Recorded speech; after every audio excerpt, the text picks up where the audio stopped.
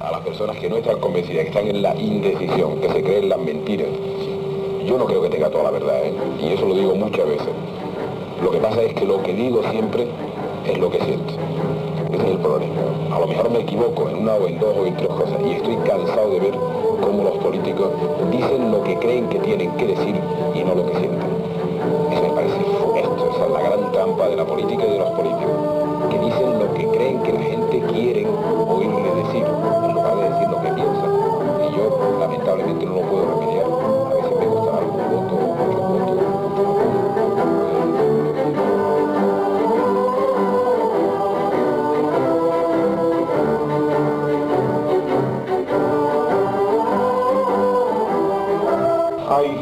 un eslogan muy vacío de contenido. Se dice, votad al Partido Socialista por el cambio. Y hay que preguntar, ¿por qué cambio?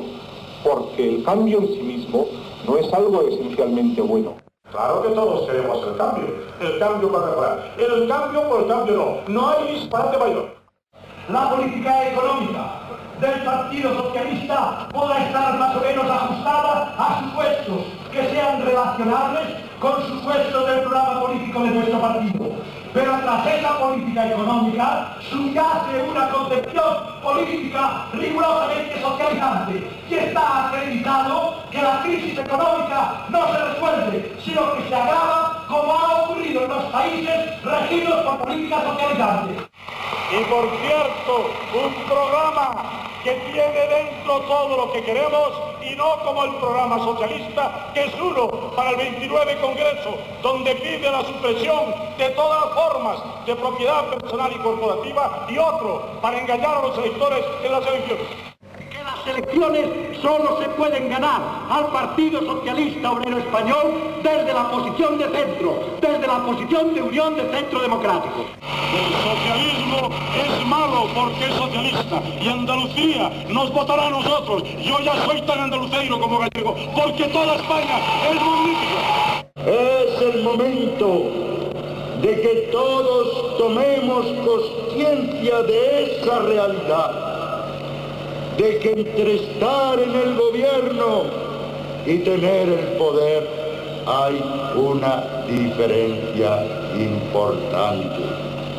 Y que lo tengamos y que lo tengan los compañeros socialistas. Mañana o pasado mañana van a estar en el gobierno y van a estar con una amplia mayoría pero que no se hagan ilusiones. Tradición queriendo inspirarse en el marxismo y se niega la modernización porque con lucha de clases, con burocratización de la economía, con un funcionamiento apoyado en doctrinas económicas de hace 100 años ya fracasar en todas partes, el socialismo, lejos de modernizar España, la va a retrasar siglos. Quiero pedir que seamos capaces de transmitir a todos los rincones de España la necesidad de que practiquemos una de las primeras reglas democráticas que consiste en respetar profundamente el gobierno que surja de las urnas, aun cuando no sea nuestro gobierno. El Partido Socialista podrá tener a favor más o menos las encuestas, pero el Partido Socialista si gana las elecciones tendrá que hacerlo el día 28 de octubre. Y el día de la votación, el pueblo español demostrará que España no es socialista. sector de la población resulta que ha mandado durante 100 años, ahora está muy nervioso de que llegue el día 28. Pero no se dejen engañar ni influir, que no va a pasar nada. Son cuatro gatos. Que la voluntad del Partido Socialista no es solo, aunque sí lo es también, ofrecer un programa, es también y mucho más ofrecer un proyecto histórico, que ese proyecto histórico es el patrimonio de estos cientos de miles de personas que os congregáis aquí esta noche, de estos cientos de miles de madrileños y de los millones de españoles que van a tener una palabra que decir y un esfuerzo que hacer para construir una España mejor con todos nosotros. La paz y la libertad de los españoles es el bien común de todos nosotros. Gracias por levantar la bandera de la Constitución, con el escudo de la Constitución, esa bandera que hemos conquistado para todos, esa bandera que ya es patrimonio de todos los españoles.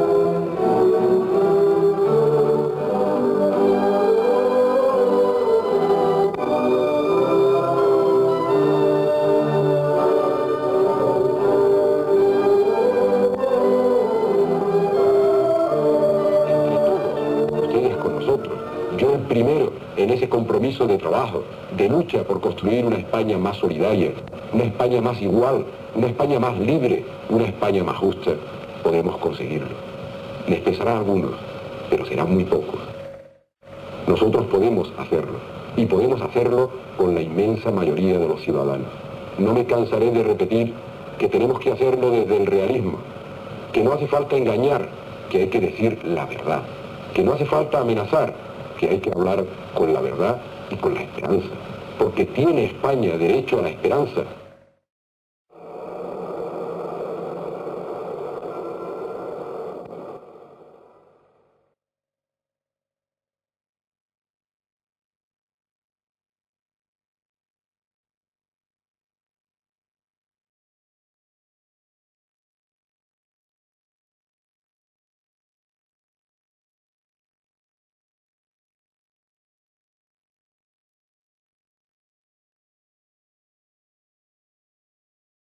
A estas alturas de la noche, de acuerdo con los datos que se han dado a conocer, está claro que el Partido Socialista Obrero Español ha obtenido el respaldo mayoritario del pueblo español en este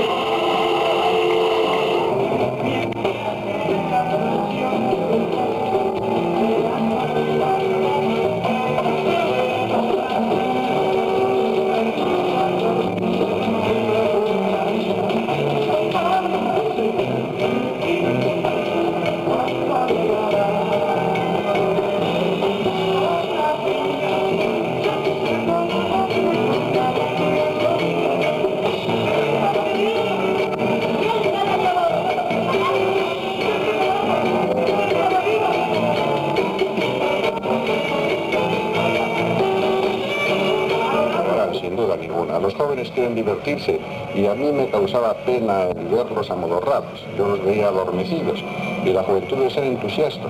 Y un pueblo que tiene una juventud entusiasta, que confía en el futuro y que muestra ese entusiasmo en unas elecciones, es un pueblo que tiene mucho que esperar y poco que temer.